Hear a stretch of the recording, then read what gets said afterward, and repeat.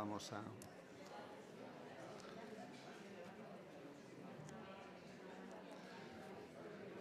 Vamos a ver cómo va. Sí, hola, buenas tardes. Buenas tardes. Bienvenidas y bienvenidos a la sesión mensual que en el Club de Lectura de la Universidad dedicamos a la poesía. Antes de nada, pediros disculpas por el, por el cambio de, lugar de celebración de la sala de conferencias internacionales a este salón de actos. La sala se nos había quedado pequeña y está muy bien que Francisco José cuide de nuestro espíritu, pero todavía hay que seguir cuidándose la salud corporal y, en este espacio eh, íbamos a estar más cómodos y más, y más a gusto. Eh, bueno. Las eh, grandes celebraciones exigen grandes vísperas. Sabéis que el próximo lunes comienza el Festival de la Palabra con eh, la participación de la poeta Ida Vitale y no podía tener mejor anticipo el Festival de la Palabra que este encuentro con la poesía de Francisco José. Hoy presentamos no a un poeta, que es eh, de sobra conocido, em, con una eh, trayectoria importante y con, un, trabajo eh, en muchos ámbitos eh, muy destacado, sino que presentamos un libro, un poemario que ha recibido el primer premio internacional de poesía Francisco Brines. La poesía de, Francisco mm, tiene algunos hitos que me gustaría, aunque sea brevemente, destacar el premio eh, de poesía joven Félix Grande en el año 2006 con un poemario titulado Variadas eh, posiciones del amor y el premio Hiperión de poesía que fue con el que yo le conocí, eh, que lleva por título Tras la puerta tapiada. Hoy, como os digo, presentamos este, este poemario que ha recibido un premio especial. Es el primer premio que la Fundación Francisco Brines eh, da y es un premio internacional y tiene ese patrocinio de la voz eh, poética de Francisco Brines, que ha sido hasta eh, el año pasado el último premio Cervantes. De este acto, recordaros que una vez que acabe, a las siete y media, habrá una firma de, libros en la librería Diógenes. Y, eh, bueno, como lo importante es que escuchéis a los dos poetas que tenemos en, la mesa, eh, le voy a dar la palabra a Ariadna García, poeta también con, con larga trayectoria, con eh, importantes reconocimientos, autora al menos de los dos últimos poemarios que, tengo como referencia, Sublevación en la editorial Pretextos y Ciudad Sumergida en la editorial Hiperión. No sé si hay alguno más reciente, pero probablemente vendrá otro muy pronto, muy pronto en Pretextos y creo que otro sin tardar demasiado en publicaciones de la Universidad de Alcalá. Y como aquí se trata de escuchar a, los poetas, le cedo la palabra a Ariadna y gracias y, bienvenidos por, eh, gracias por asistir a este. Buenas tardes a todos, eh, bienvenidos. Es un placer y un auténtico honor acompañar a, bueno, a un amigo querido, eh, poeta de reconocido prestigio, a Francisco José Martínez Morán y acompañarlo en, la presentación de, su nuevo poemario, eh, No. La estructura que hemos pensado es, bueno, voy a realizar una especie como de breve introducción al, libro y luego vamos a, entablar un, un pequeño coloquio, un diálogo. A modo de presentación, unas breves palabras. Doce años hacía que Francisco José Martínez Morán no conseguía un premio literario. Doce años de sequía en los certámenes, de hambruna y los reconocimientos mediáticos, pero que han sido para él absolutamente provechosos desde el punto de vista creativo. Tres son los géneros que ha cultivado en estos 12 años, al margen de los galardones. El poético, Obligación, publicado en Polibea, Tacha, publicado en Renacimiento, Los cuadernos del frío, publicado en Bajamar.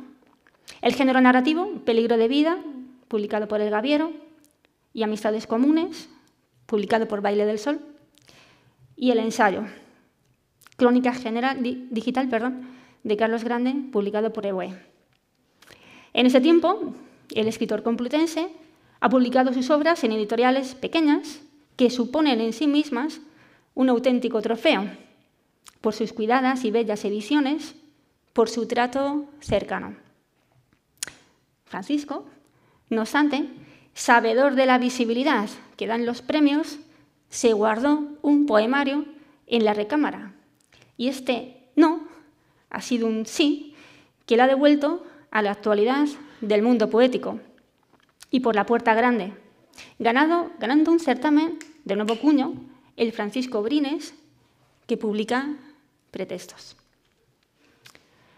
No gira en torno a los temas predilectos de un autor que venera la lírica romana, que conoce y asimila el legado de nuestros escritores de los siglos de oro. Podemos decir, por tanto, que se trata de un libro clásico, tanto en el fondo como en la forma. Las secciones 1 y 3, versiones desleídas y no, son de índole existencial. El sujeto lírico se autoanaliza sin reparo alguno. Cito textualmente, querrías haber sido otra versión de ti. También muestra la decepción que lleva dentro. Y cito varios versos. No queda en el que observa más que sed. Nada de lo que veo me interesa. Así, vacío y tosco, rompe el día. O se reconoce, este sujeto lírico, insatisfecho, y cito, siempre con sed de nuevas frustraciones. La voz que enuncia carga a hombros con el pesimismo del hombre moderno, y cito, roto de realismo y sin magia. No faltan los tópicos elegíacos del tempus fugit, ni la obsesión omnipresente del envejecimiento y la muerte, con ecos angustiosos de Quevedo, y cito. Apenas reconoce como el suyo el propio bastidor de la mandíbula. Todo se desmorona y no es metáfora. La sección segunda, Teatro para Sombras, es de índole culturalista, en la medida en que Francisco José Martínez Morán alude o bien a personajes de ficción que simbolizan la muerte, Yorick, Próspero, Melibea, o bien autores latinos cuyo ejemplo subvierte Horacio, Séneca. El poeta madrileño, como Cervantes o Rojas, se rinde a la evidencia de su tiempo. No se puede seguir un modelo moral heredado. Si en el siglo XVII el Quijote enteró los ideales de los caballeros andantes, en el XV-XVI la Celestina parodió los códigos de honor de los amantes corteses. Nuestra sociedad, simbolizada por el sujeto que enuncia, ha renunciado a los valores estoicos. No se puede vivir como pedían los sabios filósofos grecolatinos. Y cito, cito dos poemas, si tienen el libro, están en la página 36 y en la página 37. Dice el primero,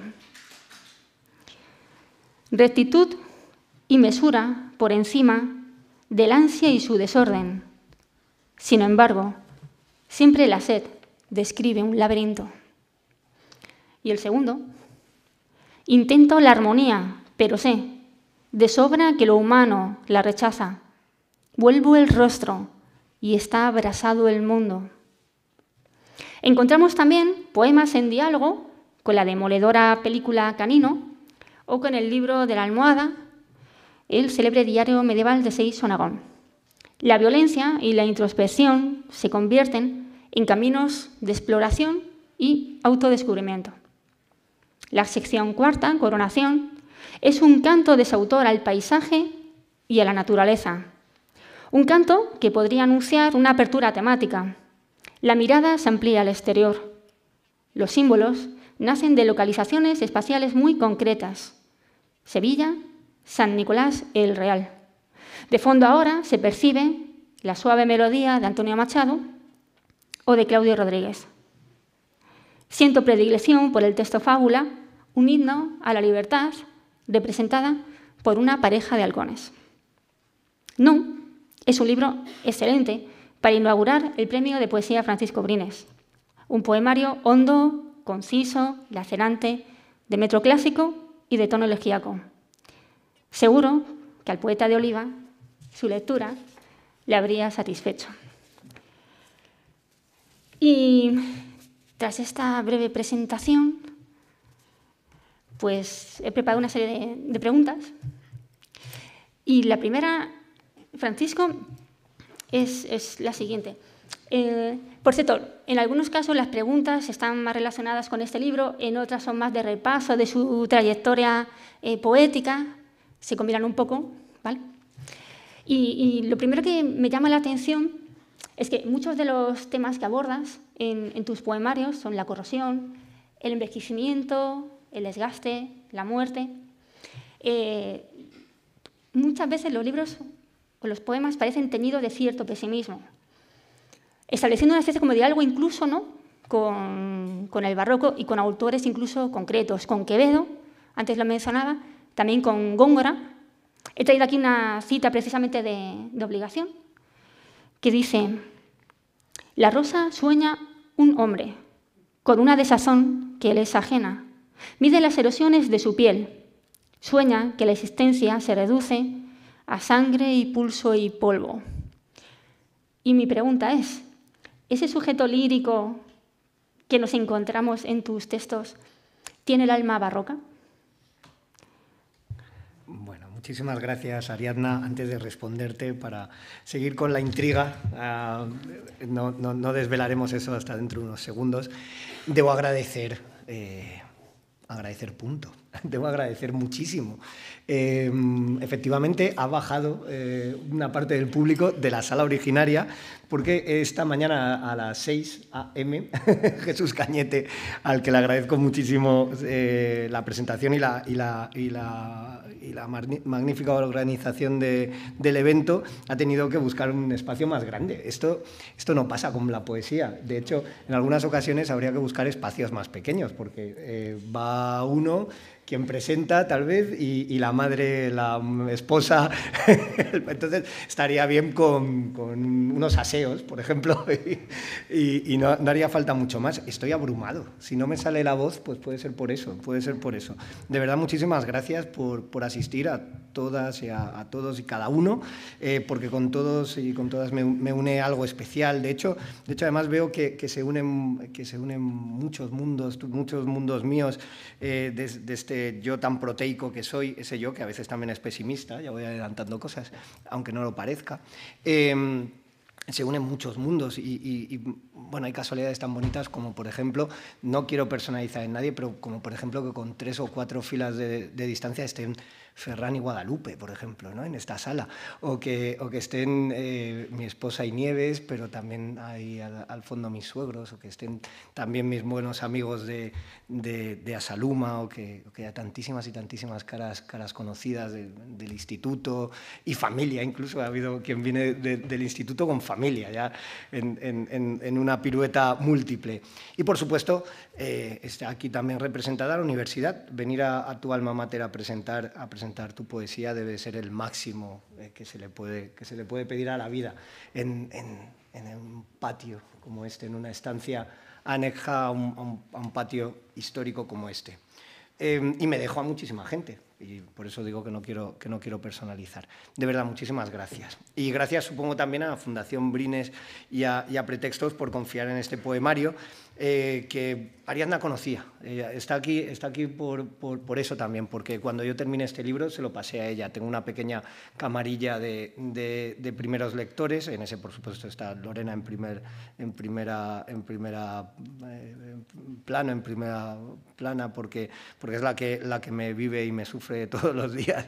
Y, a la primera a la que le doy todos los poemas. Y después eh, pues está Ariadna y tres o cuatro amigas, amigas poetas más y, ella lo conocía, el libro, y, la verdad es que me dio consejos muy buenos sobre el libro. El libro estuvo un tiempecito dormido, estuvo en un cajón y bueno, yo no soy mucho de presentarme a premios, aunque Jesús recordaba algunos de ellos, pero yo soy poco de premios y, me daba mucho pudor eh, presentarlo a un premio porque pensaba que no, que no, iba, que no iba a tener ninguna repercusión y que no, que no iba a llegar a, ganarlo. Y bueno, eh, cuando me llamaron, pues eh, fue ese, el episodio anterior a no tener voz, como, como es hoy. Le decía al otro lado a Ángels Gregory, a quien quiero recordar aquí también hoy, eh, que preside la Fundación Brines, decía, ay, ay, ay, le decía yo. A Francisco, si no sabes para qué te hemos llamado. Y yo solo decía, ay, ay, ay. En algún momento les dije, si me llamas desde Oliva en estos días, y un día era raro, era un sábado o algo así por la tarde, digo, esto solo puede ser para, sí, pues es por eso, es para, para decirte que hemos fallado a, tu favor. Bueno, em, ¿soy barroco? Pues no lo sé. No lo sé, yo, yo, me querría ver a mí mismo como Garcilaso, pero está claro que no me sale. está, claro, está claro que no. Yo siempre que escribo pienso que soy más renacentista que barroco. Pero sobre todo, sobre todo yo creo que, que, aquí hay, hay, un, autor, un autor que no está citado explícitamente, pero que, que marca mi obra desde, desde que empecé a, escribir en términos históricos, que es Manrique. Claro, ahí, hay un momento medieval en el, que, en el que el barroco ya está en germen, hay, luego un momento eh, garcilasiano para que luego explote el siglo de oro, pero en, Manrique las coplas estaba ya, estaba ya todo esto que, quería yo hacer y no sé para qué lo hago porque estaba mejor en él, obviamente. Yo me empeño, me empeño tal vez en, otro tipo de, poesía, pero al final el, barroco me, desborda. Y seguramente también, porque tú lo has citado muy bien y está aquí presente, por ejemplo, eh, Gago, eh, mi maestra en, esto, eh, los clásicos me acompañan constantemente. No sé pensar el mundo sin ellos. Y es verdad que eso provoca una dificultad de, una dificultad de comprensión del mundo, porque comprender a los clásicos a través de eh, comprender el mundo a través de los clásicos puede parecer un anacronismo, pero yo creo que es un anacronismo muy muy enriquecedor y, es una dulce, no sé si es una equivocación, pero pero dulce es. Y y yo no me, no me imagino a mí mismo escribiendo sin, sin, sin tener presentes a los, a, los, a los romanos y a los griegos. Es imposible para mí.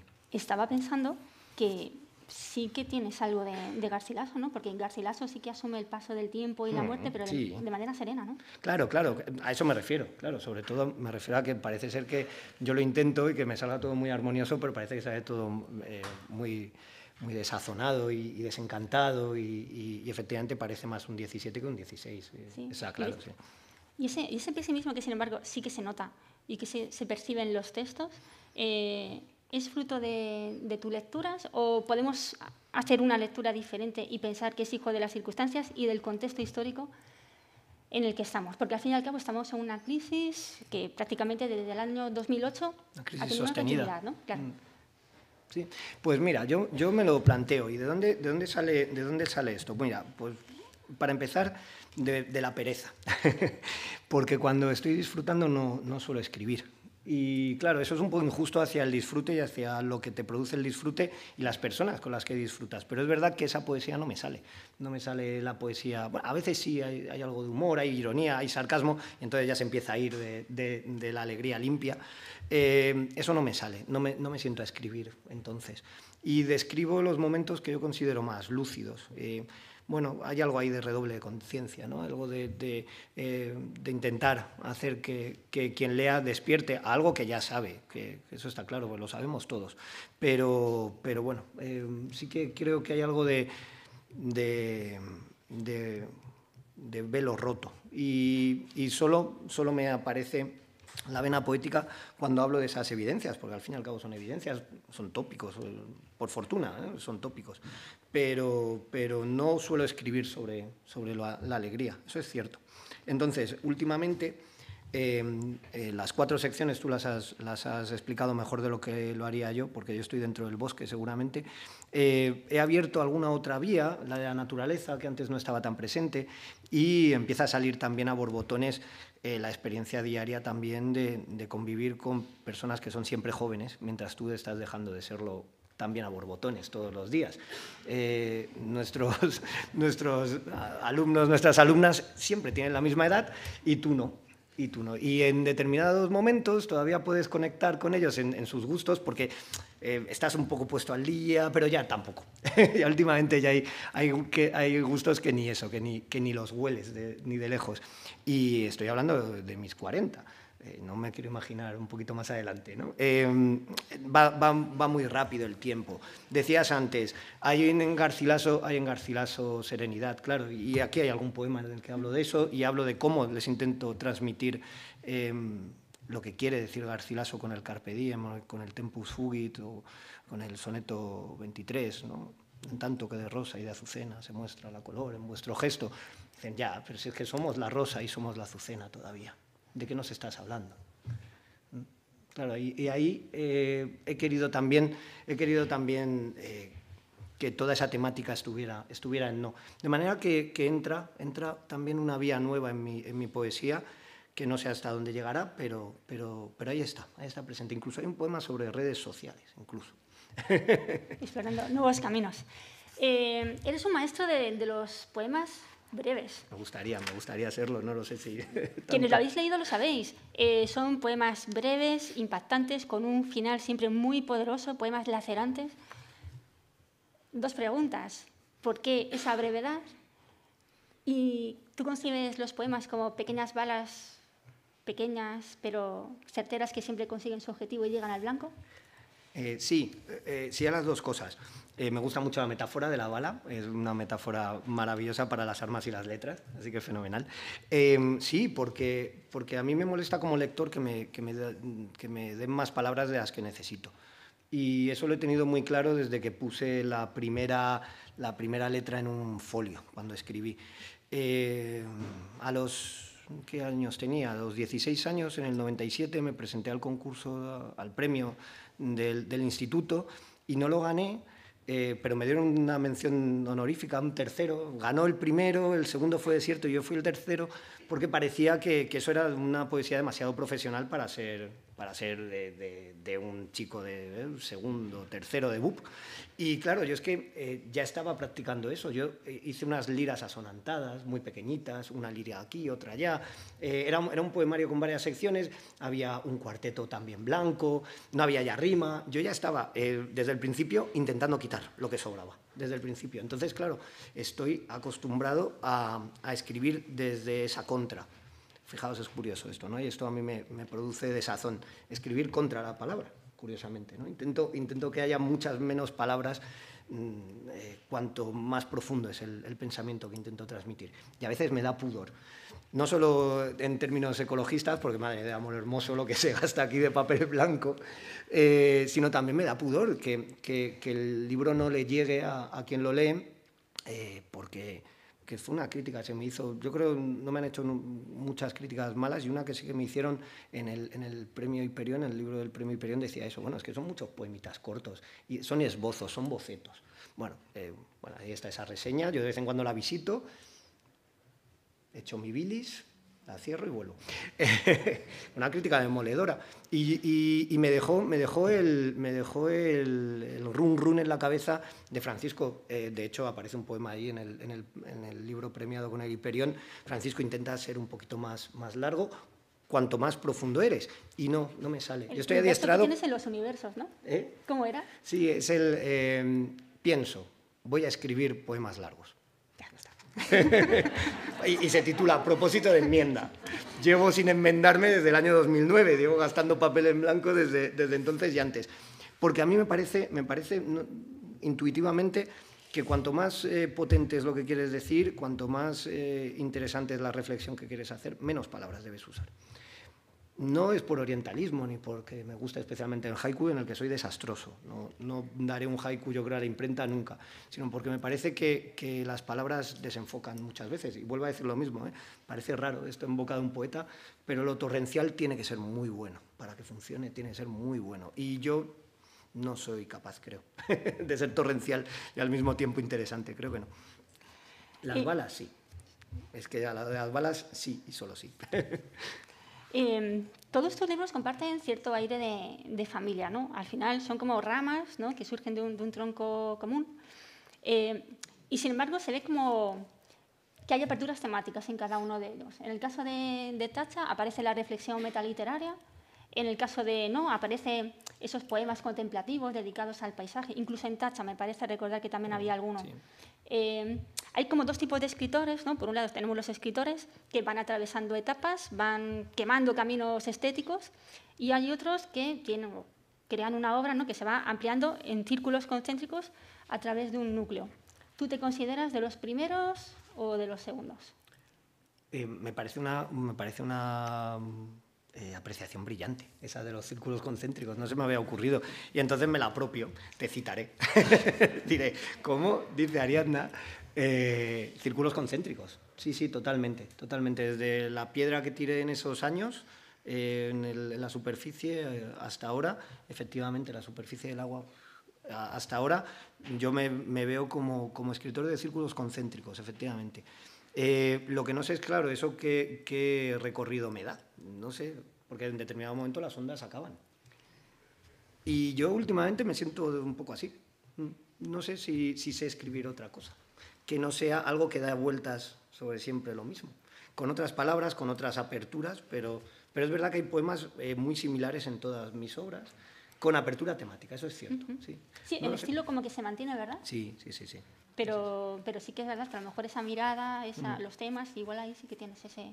Sí, sí, eh, me ha, me ha parecido brillante, la, la, apreciación me parece brillante, me, parece, bueno, pues, pues eso del ojo que tienes tan magnífico para, para interpretar los textos, me, me, gusta mucho lo de los círculos concéntricos, ya te digo, me lo, me lo quedo, me lo apropio como todo lo que me gusta.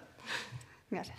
Eh, háblanos de los títulos. Ah, los títulos. Porque los títulos, eh, salvo el primero, el de... Em, ¿Cómo era? Variadas, Variadas posiciones del amante. sí.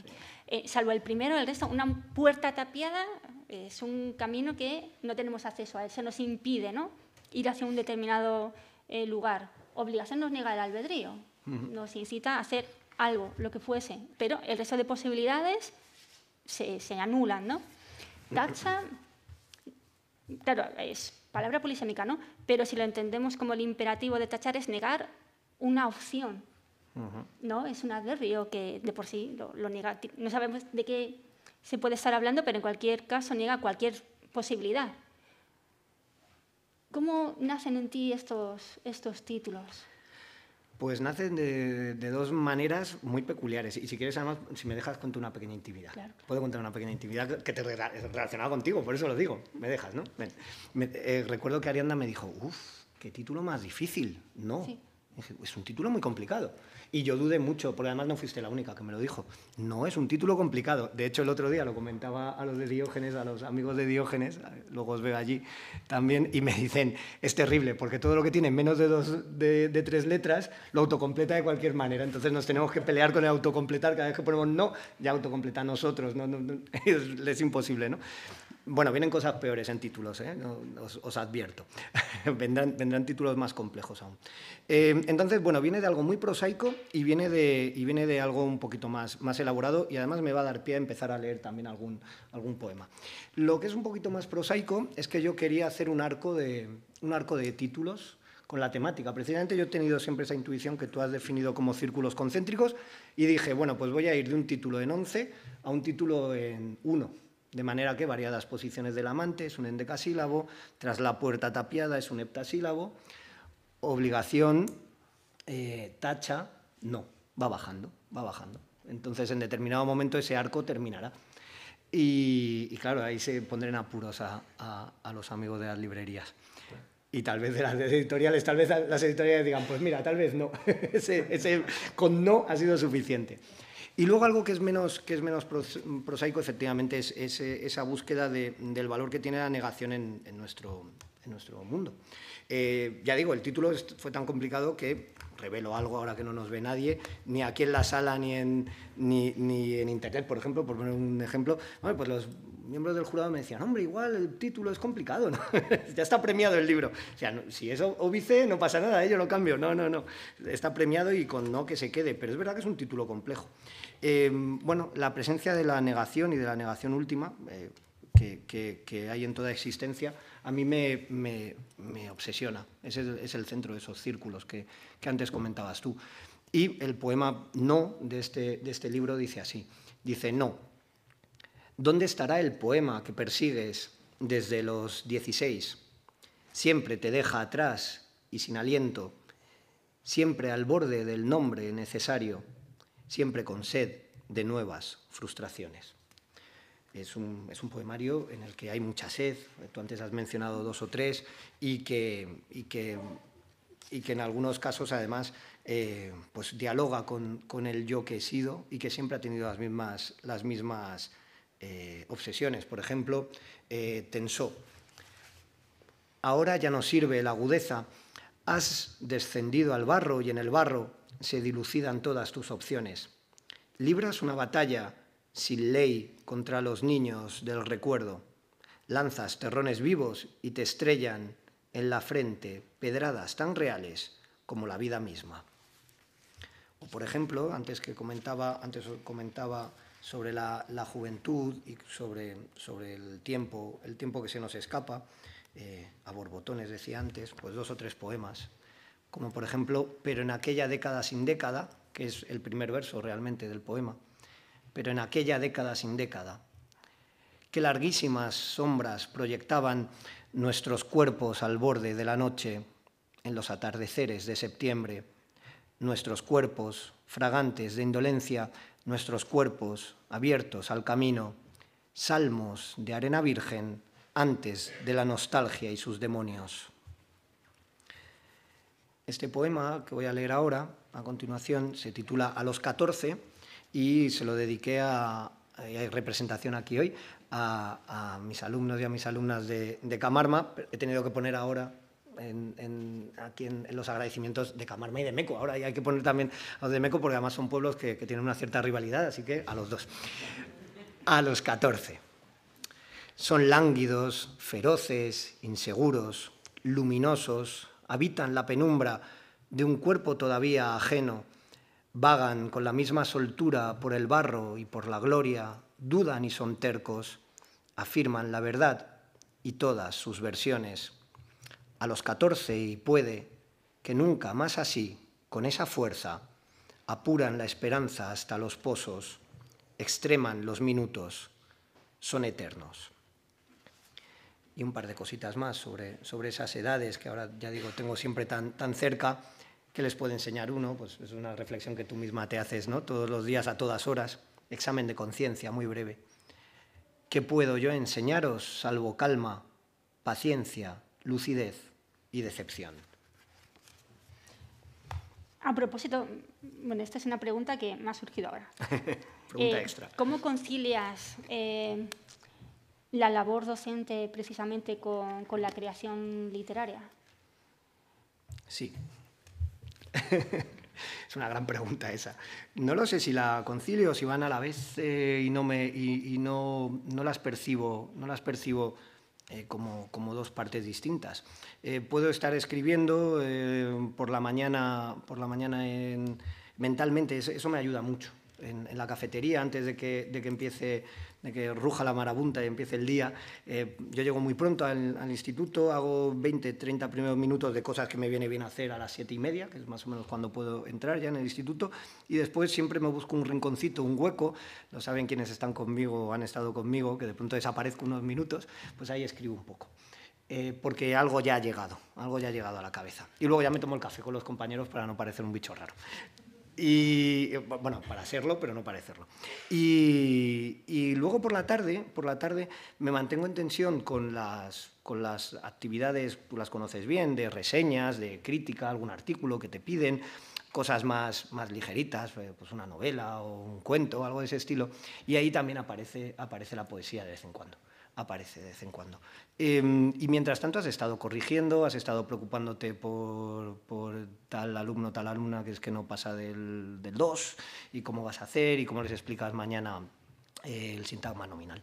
Yo no lo veo disociado, no, no, no me parece que haya problema más allá del del tiempo, que no es pequeño, pero no me parecen mundos distintos, de hecho me parece que se comunican. Y, la prueba de que se comunican es que empieza a haber ya poemas en los que ese mundo se explora, cosa que efectivamente antes de la, antes de la, de la secundaria no me pasaba. Sí que hablaba alguna cosa de la universidad, en términos elogiosos siempre, pero no, no, no, no, no había tanto vaso comunicante, curiosamente, siendo una actividad investigadora en la que estaba en contacto constante con textos antiguos o, barrocos o, o, medievales, renacentistas. Curiosamente, ahora es cuando fluye más todo. Eh, los autores estoicos, hmm. los autores latinos y los neoestoicos eh, del siglo XVI intentaban exportar una serie de valores, ¿no? la mesura, la contención, el equilibrio. Eh, leyendo los textos que comentaba de la página 36-37, da la sensación de que, de que igual no se pueden implementar a día de hoy. ¿Qué te parece? esa es una gran pregunta. Ayer hablaba precisamente con, Cuarto B en, latín y les comentaba el caso de, Marco Aurelio, que aparece además, eh, aparece además aquí en el, libro. Caso curioso. ¿no?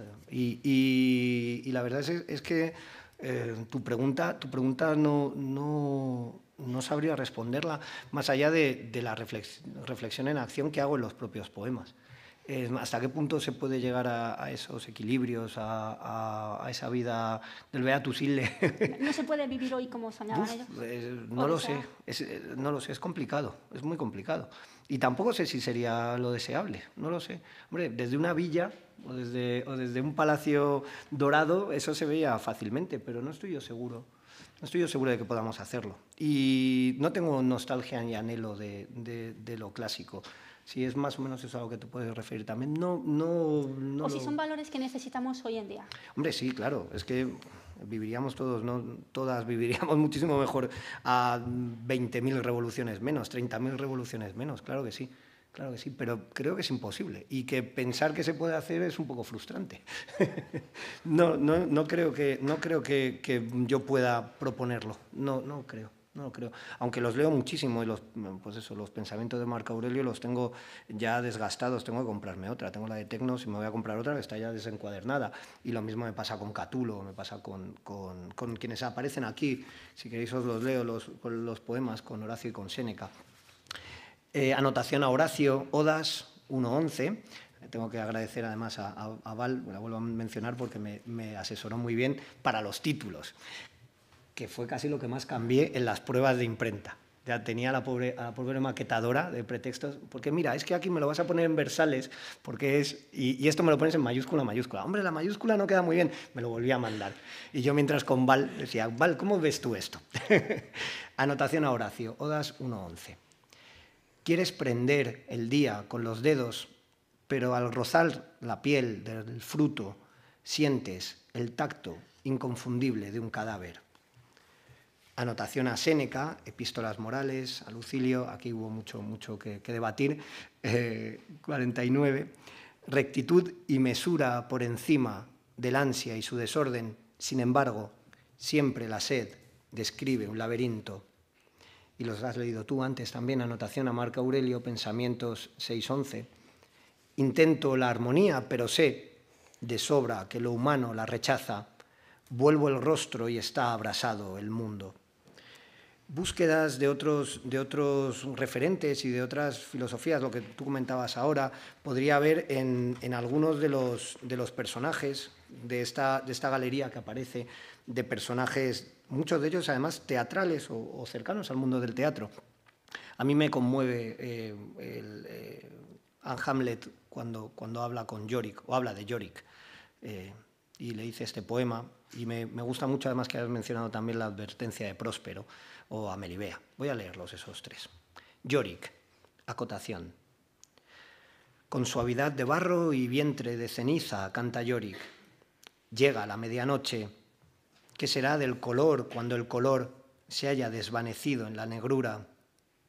¿Cómo será el silencio tras el silencio último? ¿Cómo la carcajada? ¿Cómo el llanto? Melibea, en su último momento, Melibea no es ya más que un instante de vuelo entre la luz y la ceniza. A medida que cae, su cuerpo va adquiriendo la silueta exacta del dolor, hecho dolor sin límites. Al fondo de la vida hay un estrépito de juventud y rosas.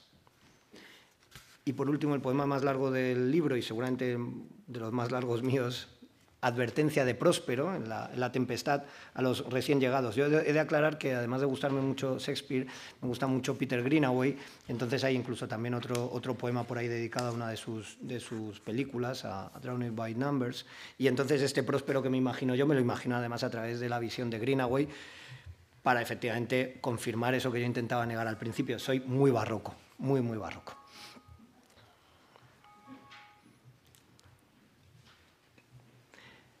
Mirad, soberbios reyes, qué minúscula desde esta perspectiva es la extensión de vuestras heredades. ¿Creéis que el patrimonio que os inflama el pecho no conoce los albures del tiempo? ¿Y qué es al cabo el tiempo mismo? Pensáis así, magníficos señores, porque ignoráis la ley y postergáis la nieve con fingidas primaveras. Pero no es más que sueño en sueño envuelto vuestra naturaleza Ved la espuma, el remolino airado que os arrastra a un naufragio sin crónicas ni cantos. Vendrá la palidez a vuestros rostros, será de sal el suelo del jardín, ceniza se hará el pétalo, olvido todo nombre.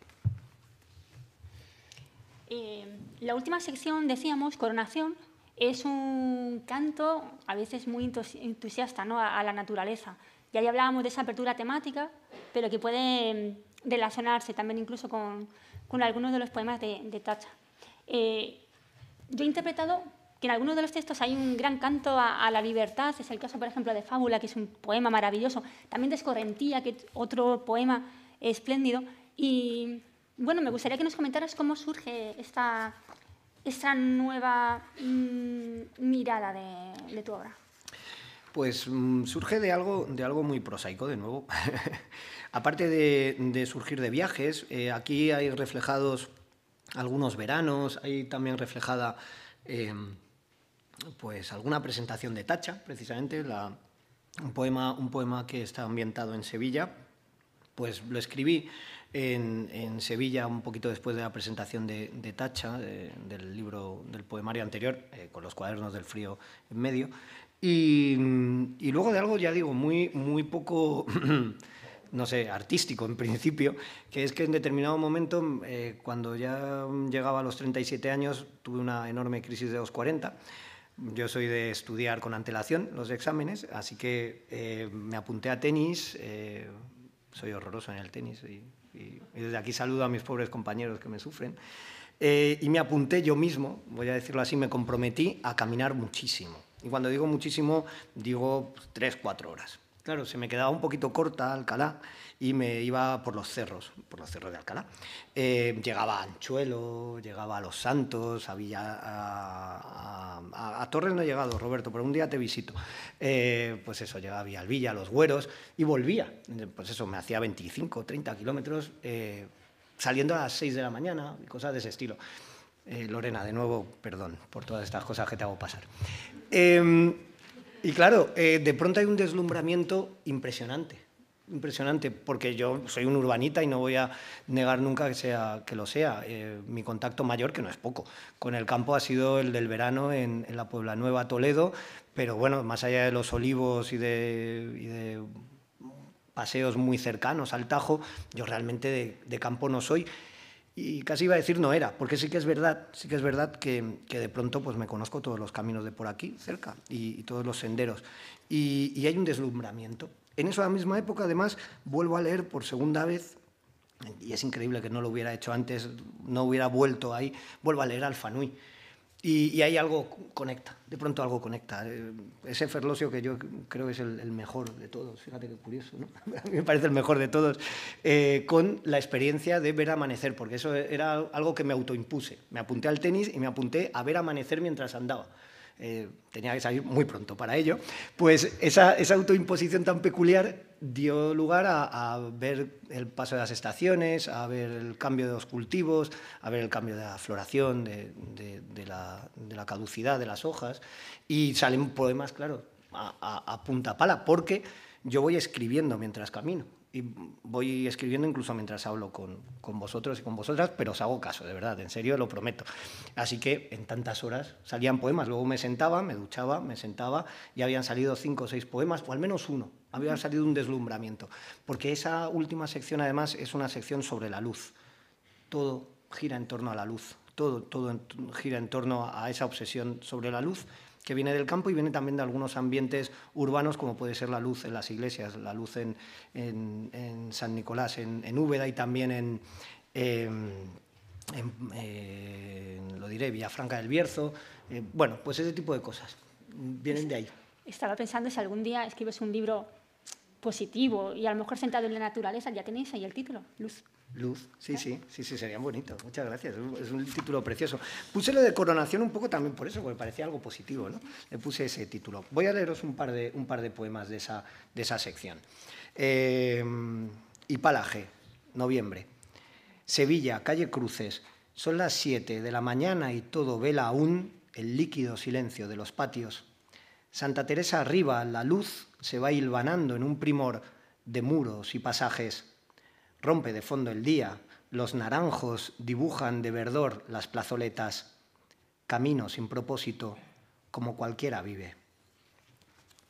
Claro, es que amanecía porque me fui a dar la vuelta en, Sevilla antes de que amaneciera. Entonces hay que, hay que explicarlo, esas, pequeñas obsesiones curiosas. Em, en, un aula de, en un aula de Camarma del Federico García Lorca encontré unas persianas a medio cerrar y le hice este poema. Aquí ha dejado quieta la mañana su pulso de estampida y rompimiento. Parece que las cosas no se mueven, que nada altera el cauce de la luz a través del cristal y el polvo suspendido. Con qué poca inacción nos conformamos, con la mera apariencia de lo estable, apenas con el roce de lo puro.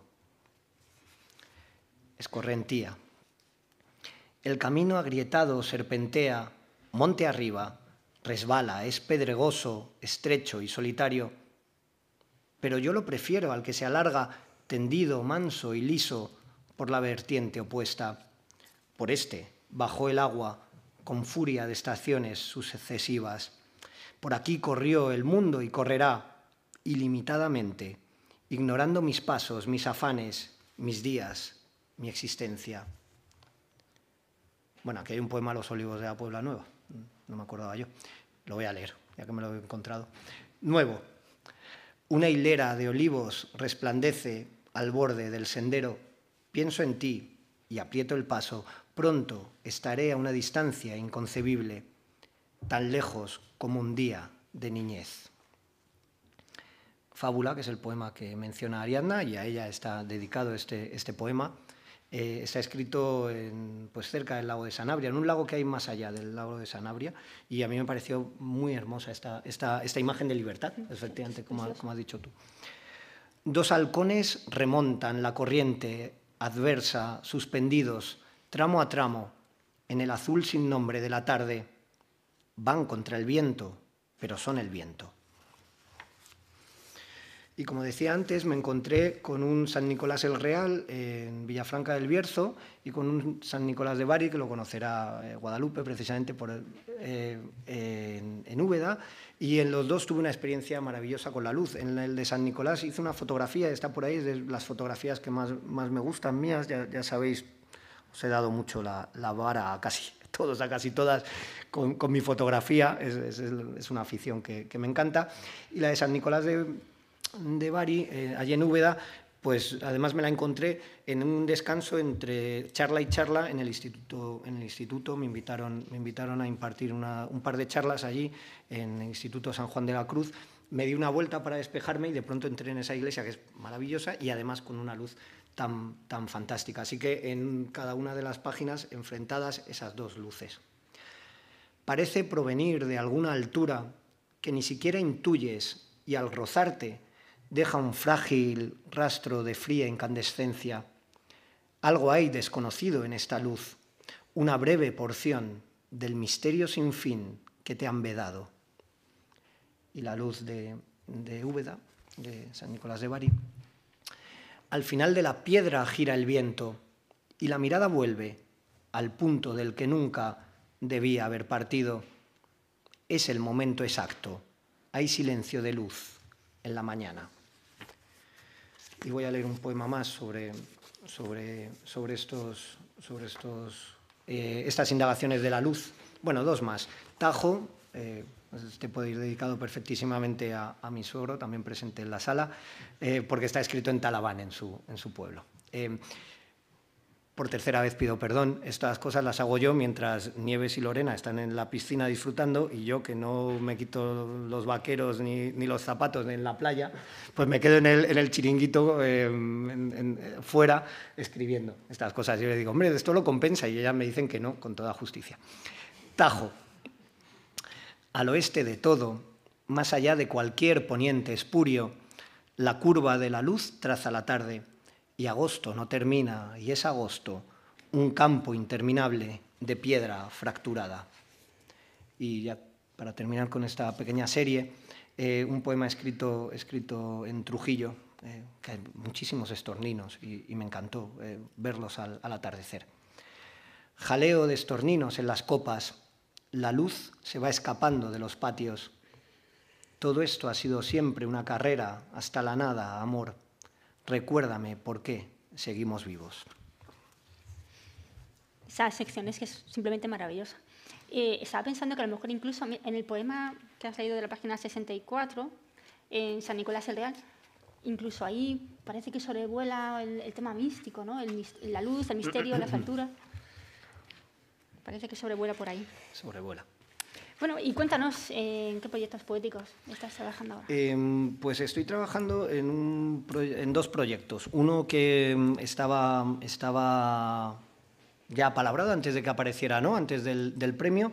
Eh, se va a titular Fábula del Fragmento y es un libro inclasificable en cuanto a género. No sabría decir qué es. Entonces, bueno, si aparece en una colección de poesía finalmente diré que es poesía y si aparece en una de narrativa diré que es narrativa. Pero yo todavía no sé qué es. Es, algo parecido a prosa poética, una novela poética, si eso puede existir, no lo sé. Y bueno, tengo ya un libro prácticamente preparado de poemas. Eh, porque yo trabajo de esa manera. Yo no, no me planteo un proyecto, eh, hay, quien, hay quien, quien, lo hace así. No, para ser exactos, lo habitual es hacerlo así. Eh, bueno, tú te planteas un proyecto, quieres hacer una exploración, una indagación sobre un tema, sobre, un, sobre, sobre una preocupación, sobre una obsesión, y escribes el libro de poemas. Yo no, yo mm, a, al terminar, al terminar un, un un periodo, el que sea, dos, tres años, tengo 40, 50 poemas presentables, ya hay libro. Y a partir de ahí ya sí que es verdad que empiezo a, a ordenar, reordenar, a, bueno, a, ponerle secciones, a, ver que efectivamente hay líneas temáticas, a, darme cuenta de que, de que, he paseado demasiado en, los fines de semana de madrugada, ese tipo de cosas. Y ahí es cuando a mí me, aparece el libro y me aparece el título. Ya tengo el título y tengo los poemas, creo. Porque además voy a aprovechar unos poemas que se quedaron en un margen, que ahora es largo de explicar, y que yo creo que están, que están bien y que pueden, y que pueden aparecer también y, que no desmerecen, desmerecen lo que hay hasta ahora. Y, y, en, eso, en eso estoy. Mm, no escribo mucho últimamente, estoy escribiendo menos, pero bueno, también eso va por, por rachas. Y prosa, además de este libro que comentas de Fábula de Fragmento, eh, novela estándar. Bueno, tengo una novela estándar, me gusta eso. tengo una novela estándar en mente y me la llevé el verano pasado de vacaciones para terminarla y no puse una letra. Ese es el estado de la cuestión. Ese, ese, es el estado, ese es el estado de la cuestión actualmente de mi novela. Eh, creo que, puede llegar a estar bien, pero con lo despacio que escribo prosa, pues tal vez podamos vernos aquí para, para, la presentación, si a Jesús le parece bien, pues cerca de, tu jubilación y yo pues ya en el, en el quinto, el sexto sexenio, más o menos ahí aparecerá. Y, y, la verdad es que, la verdad es que me, me, gustaría, me, gustaría, me gustaría leer quizás alguna cosita nueva, pero, pero no sé, no sé si, si leer algo nuevo o, o, empezar, o, empezar, o empezar un poquito, empezar eh, o continuar con, con alguno de los, de los poemas de, de no, alguno que se haya quedado al margen. No sé si te apetece que lea algo diferente o... ¿O leo algo nuevo? O, bueno, o algo nuevo. Venga, pues leo dos poemas, dos poemas inéditos. ¿Cuándo pueden apagar lo de YouTube? El mismo agosto. Salgo al jardín, te busco, aunque jamás he visto tus facciones, porque jamás he visto tus facciones. Qué embriagador aroma el de la higuera. Es agosto, atardece, un día siempre idéntico a sí mismo. Visión de lo que cede. Turquesa y transparente, el mar, espejo sin fin de lo negado, tus pies rozan la arena, comienzan a ser agua, se hacen uno piel, espuma y salitre. Te contemplo, te pierdo, ya solo eres palabra y desencanto. con esos dos yo creo que es suficiente para, para responder a tu, a tu pregunta de, de, por dónde, de por dónde ando, que es de nuevo en otro círculo concéntrico, más difuminado todavía, si cabe. Bueno, eh, más o menos... Sí, estamos más o menos en hora. Eh, si queréis, si queréis leer un par de poemas más y cerramos el acto. Sí, solamente recordarnos Sí. la presentación, o sea, perdona, eh, lo que es la firma del libro Sí. a las siete y media. Sí, venta, venta y firma de, de ejemplares en la librería de Diógenes, pues lo que tardemos en llegar. Yo ya he visto... Perfecto, he, he- he visto ya hay una mesita preparada que imagino es para mí, así que fenomenal. Pues leo, leo dos, o tres, dos o tres poemas más y, y ya os dejo, eh, os dejo que, salgáis a la tarde, que parece que, que nos ha respetado. Yo pensaba que iba a haber tormentas y, y eso se, se anunciaba.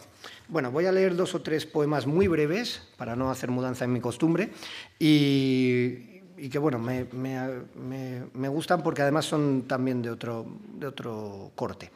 Lema Juan Ramoniano del Millennial.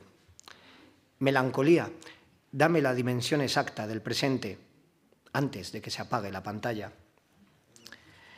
Lema cioranesco del presente. Éramos infelices, como solo lo pueden ser aquellos que ganaron. Y decía antes que había un pequeño poema sobre redes sociales, pues de una higiene en desuso.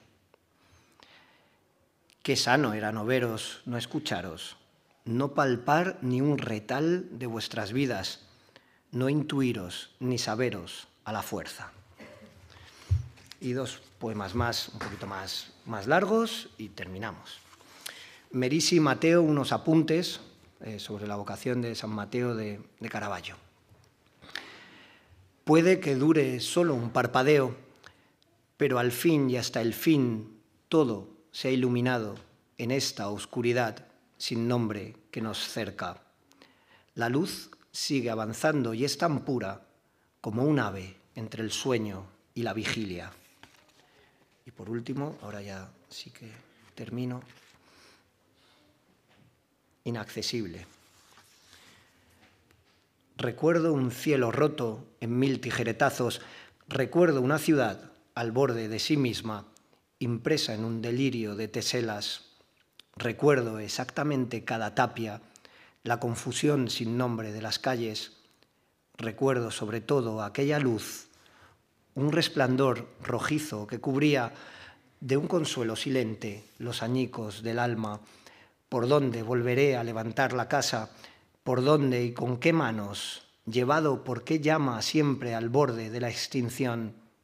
¿Y será luego, una vez alzada de entre sus propias ruinas, la que fue u otra, más falsa y engañosa, apenas una copia mal trazada del plano original que ni siquiera he visto? Muchas gracias.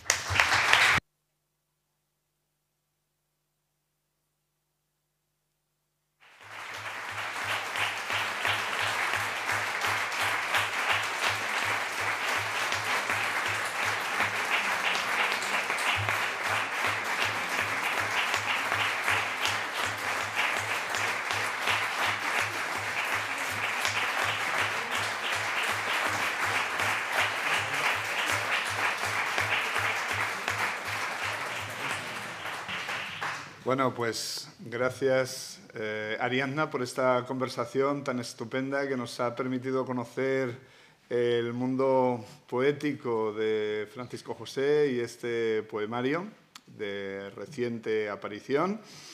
Y gracias a todos por, por, eh, asistir a este acto. Nos vamos con, el, espíritu ensanchado, ya camino a Diógenes, a las siete y media es la, firma de, libros allí. Gracias por, eh, venir a esta convocatoria del Club de Lectura de la Universidad.